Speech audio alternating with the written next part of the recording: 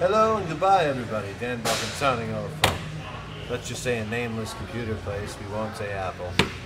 And I hope you enjoyed my comedy bits. And, uh, and watch everything from rock and roll to comedy to Jim Morrison, Martin Scorsese. Uh, who else we got? Even The Revenge of the Milkman. So enjoy all the comedy and leave the money at the door. Joking.